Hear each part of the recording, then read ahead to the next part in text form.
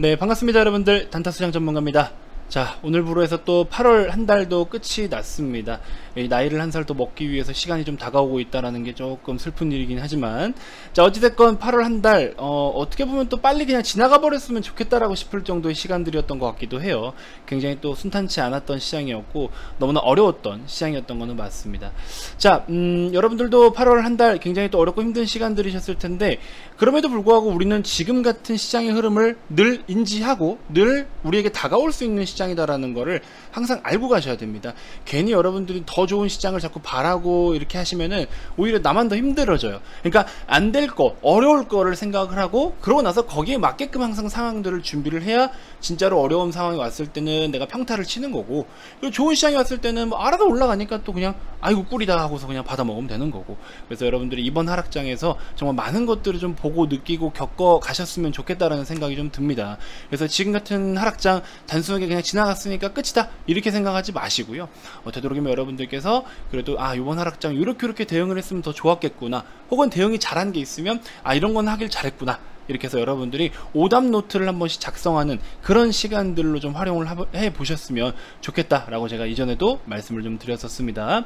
자 어찌됐건 우리 삼성 SDI 저는 뭐 공식적으로 절반 정도는 매도를 했었지만 시장의 분위기가 좀 많이 좋지 않았고 그만큼 판이 좀 바뀌어가고 있었고 그래서 여러가지 좀 혼란스러우실 수도 있을 텐데 어찌됐건 SDI가 또 추가적인 깊은 폭보다도 또 생각보다 2차전지 쪽이 빠르게 또 벌써 반응을 합니다. 외국인들도 지금 집 나갔던 외국인들 수급이 오랜만에 매수세로 좀 전환을 하면서 코스피 시가총액 상위 종목들로 매수 편입을 하고 있는데 그 중에서도 또 SDI나 뭐 오늘 같은 경우 SK 이노베이션도 굉장히 강세를 보여줬었고 LG화학 같은 경우에 지금 사실 좀 분위기가 좀 좋지 못하잖아요.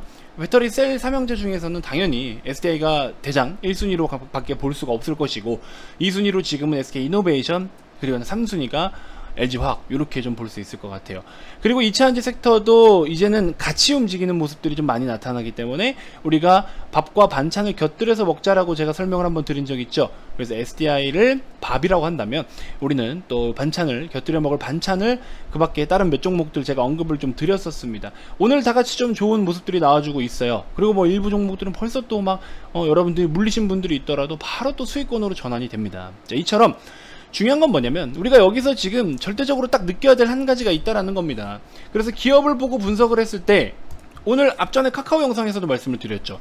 주가라는 거는 결국 실적의 함수인 건 맞지만 다른 외부적인 요인과 영향들을 분명히 받는다. 그걸로 인해서 주가의 변동을 분명히 불러일으키기 때문에 그 다양한 것들을 뭐 때문에 주가가 지금 두들겨 맞았고 뭐 때문에 주가가 오르는지에 대한 것들을 반드시 여러분들이 해석하고 판단하고 공부를 하셔야 대응이 수월하다. 그래서 지금 같은 경우에도 SDI 같은 경우에 결과적으로 업종의 분위기가 다같이 살아나고 있는 상황이에요. 그래서 우리가 정확하게 저점, 고점을 맞출 수 없고 방향성을 뭐 무조건 여기서는 빠졌다가 여기는 올랐다가 맞출 수는 없어요. 하지만 딱 하나 절대적인 거 뭐다? 반드시 뭐 일부 물량이 됐든 뭐 전부가 됐든 뭐가 됐든 반드시 가지고 가야 되는 종목이다라는 거는 절대적인 거고 꼭 여러분들 계좌의 2차전지 섹터가 포트에는 반드시 있어야 된다라는 것도 절대적인 거예요. 향후 10년은 못해도 짧게 5년은 꼭 가져가야 되는 종목과 섹터이지 않나. 그래서 전체적으로 한번 다시 한번 짚어 드릴 테니까 좀 참고 좀 해보시고 또 어떤 대응 전략들이 좀 있었는지에 대한 것들도 같이 한번 이야기를 좀 드려볼게요. 그리고 추가적인 모멘텀, 뭐 기존에 노출이 되었던 모멘텀이긴 하지만 그런 부분들도 같이 한번 좀 풀이를 해보는 시간 갖도록 하겠습니다. 자, 영상 본격적인 시작에 앞서서 여러분들 구독, 좋아요, 알림 설정 꼭 한 번씩 부탁드리겠습니다.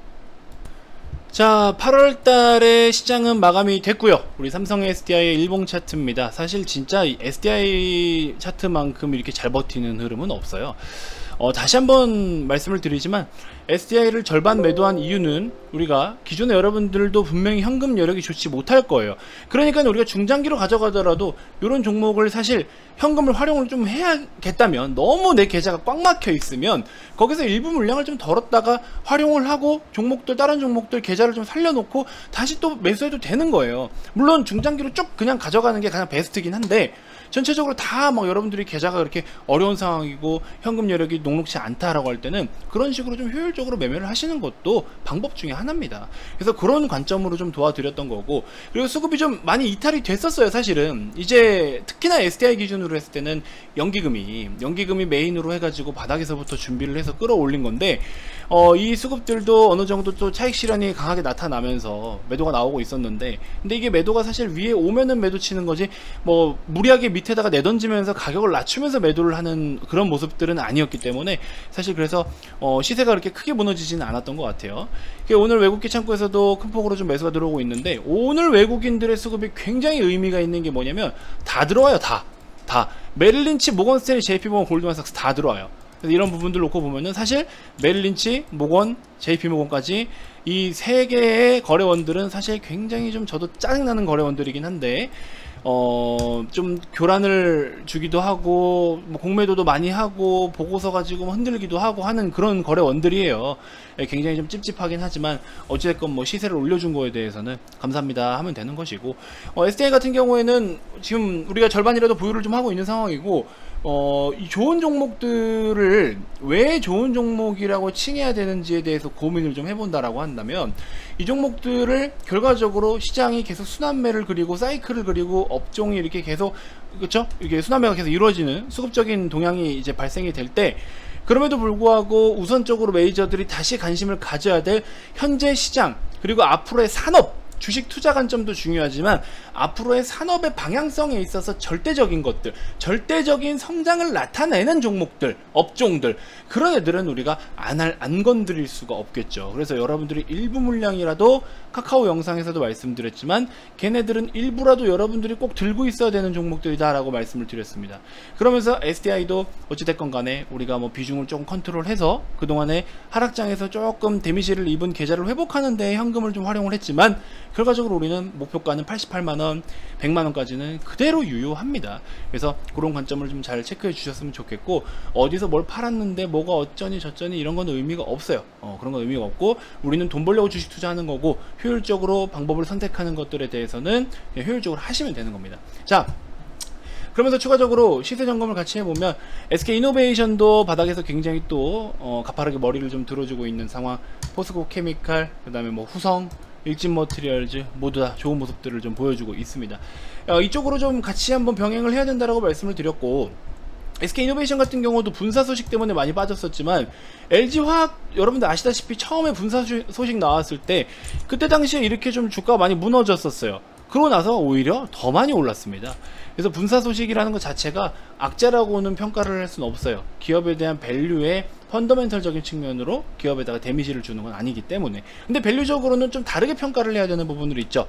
그죠? 지분을 보유하고 있으면은 지주사 할인을 적용을 시켜야 되고 하다 보니까 그런 부분까지 계산을 해보면 적정 값어치에 대해서는 조금 할인율이 적용이 될 수는 있지만 그럼에도 불구하고 기업의 사업의 그런 방향성에 대해서는 데미지를 입은 건 없다. 그렇기 때문에 그 여전히 긍정적으로 봐야 되는 거 맞고 저가 매수를 충분히 해야 되는 그런 종목들이다 라고 저는 판단을 해서 우리 VIP원님들께도 그렇게 리딩을 좀 도와드리고 있습니다. 그러니까 여러분들이 항상 분할 매매라는 게 중요한 거예요. 개인 투자자분들 분할 매매하기 어려운 거 압니다. 근데 내가 가진 돈 금액에서 아, 나눠 사고 나눠 팔면 되는데 뭐가 어려워요? 불가능한 건 아니에요. 여러분들이 가지고 있는 현금 여력 중에서 나는 A라는 종목에다가 예를 들어 한 3천만 원을 매수를 하겠다. 아 천만 원 천만 원 천만 원 나눠 사는 게 뭐가 어려워요 뭐가 어려운 일입니까? 그죠? 그렇기 때문에 반드시 여러분들이 내가 가진 범위 내에서 가장 효율적이고 계좌를 좀 지키면서 수비와 공격을 같이 병행할 수 있게끔 매매를 하시는 것도 중요해요. 종목은 공격적으로 선택을 하더라도 내가 그 전략, 그러니까 이 대응에 대한 부분을 좀 수비적인 거를 병행을 하시면 종목은 공격적인 성향을 띠고 있기 때문에 결국에 갈려면 가요.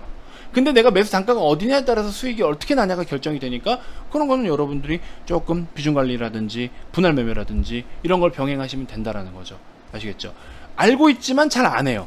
알지만 잘 안 하지만 알 뭐, 알면서 속는 셈 치고 해본 사람은 또 성과가 틀려요. 그러니까 여러분들이 반드시 그런 건 좀 해주셔야 된다. 그래서 좀 잘 참고해 주셨으면 좋겠고 아무튼 SDI 목표가 그대로 변함없고 다 변함없어요. 기존에 제가 항상 소개해드리던 내용들 전부 다 변함은 없어요. 근데 지금 뭔가 모르게 또 다시 한번 메이저들이 특히나 외국인들이 그동안에 반도체를 털면서 2차 전지 쪽으로 주, 이렇게 매집은 많이 했었죠. 그러고 나서 오늘도 외국인들이 오랜만에 1조 1천억 원대 매수를 지금 들어왔어요. 들어왔는데 코스피의 외국계 보면은 순매수 1위가 삼성전자네요. 근데 삼성전자는 모건 스탠리가 173만 주로 어, 대폭 매도, 매수를 좀 했기 때문에 엄청 그렇게 사실 신뢰하고 싶은 수급은 좀 아니고요. 하이닉스가 수급이 많이 들어왔네요. 하이닉스 같은 경우에 보시면은 시간외로 보합권이네요. 제가 오히려 반도체를 보고 들어가는 거는 삼성전자보다 하이닉스를 들어가야 된다라고 말씀을 드렸죠. 그래서 우리가 1차 목표 11만 2천원에서 5천원 사이인데 한 10, 10만 2천원, 3천원 요런 라인에서 잡았는데 충분히 단기적 수익 가능할 구간이고요. 네이버는 메릴린치 맥커리가 많이 들어왔었고 그 다음에 요것도 보시면 SDI 같은 경우에 아까 뭐 다 들어왔었고 카카오도 그렇고. 그래서 지금 반도체 투탑 네이버 카카오, SDI 다 시 총 상위 지금 바짝 상위에 있는 종목들 위주로 매매를 좀 하고 있어요. 그래서 금액이 굉장히 많이 들어오고 있고 SK 이노베이션까지 해서 금액이 좀 괜찮게 들어왔습니다. 그래서 외국인들이 오랜만에 큰 금액을 매수를 했고 선물까지 매수를 하고 있는 상황이고 전반적으로 분위기는 나쁘지 않은 상황입니다.